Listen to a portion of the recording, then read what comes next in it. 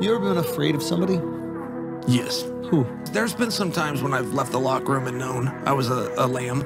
Yeah, going Really? to slaughter. Yeah. Can you name who? I did. I did not. Uh, I did not think I was going to beat Jon Jones the night that I fought Jon. And you just accepted for the fight anyway. Yeah. Yeah, I mean, that, that was just a hard one I just watched him and go, man, that guy's good.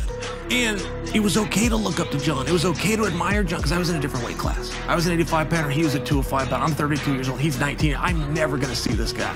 So to sit and admire and see some of this, see him catch legs and spin the elbows, see him come to uppercuts and to flying knees and, and then go and try to copy and emulate that stuff, I was safe because I'm never going to have to deal with him.